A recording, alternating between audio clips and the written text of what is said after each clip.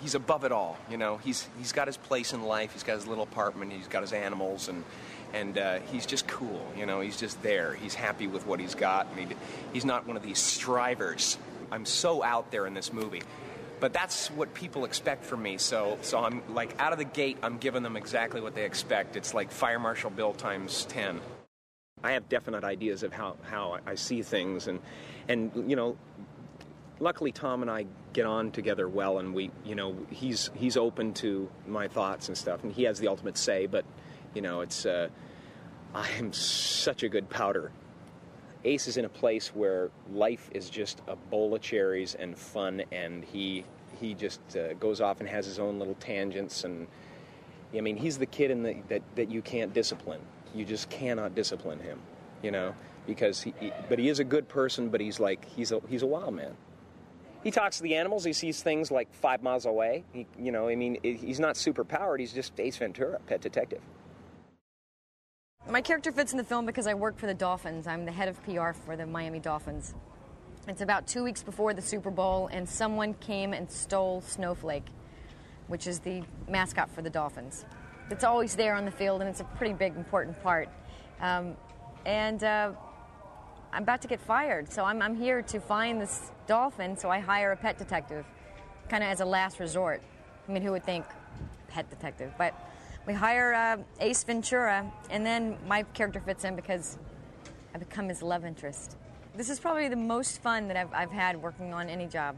And I, am I'm the type of person that can't stand to go on location. I've actually had a great time down here. I mean, it's just, it's fun. He cracks me up from the time I come into work to the time I leave. You know, she's never met anyone like this before, so obviously he's such a nut that, that there's some attraction there. And he does come up with some really goofy stuff and he's fun. I mean, she leads a very leads a very straight life. So to meet someone like Ace and have her world turn upside down is Jim Carrey, who's really the most ridiculous person you have ever seen in your life because he's very over the top and very talented, very much like a like a, a rubber face. His face is just is all over the place. He always does these faces that are really incredible.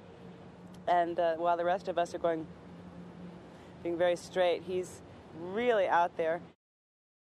He's like one of the guys on the inside who kind of understands Ace a little bit, you know, because Ace is like out there, you know, he's a kind of a strange cat.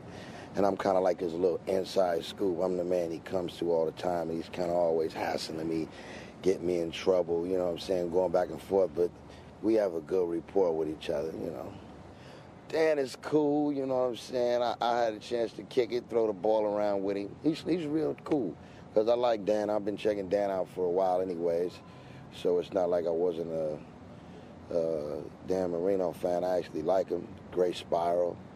He's real cool, down to earth. That's the main thing I like about it around here is, is that everybody, there's no head tripping. First time he got me, you know, because he threw one of those. Uh,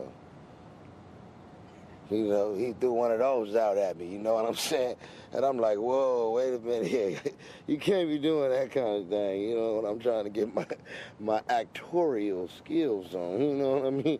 You can't throw that look at me, you know. Yeah, it's kind of tough acting, you know, and, and, and, being yourself. I mean, it's it's real tough for me because I've been trying to, uh, you know, look in the mirror in mornings, in the morning, and finding out, you know, how I'm going to act that particular day and uh, so it's, it's it is a stretch, but you know, I'm dealing with it.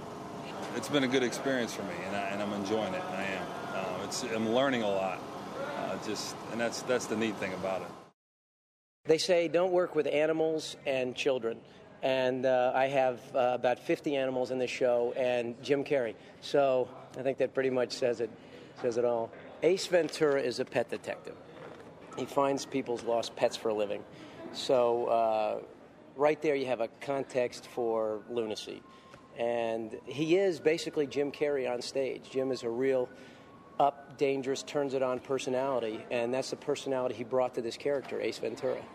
I don't want to restrain him. You know, you don't cover the Mona Lisa, you don't put arms back on the Venus de Milo. You let it go, you know. So, so we're letting Jim go.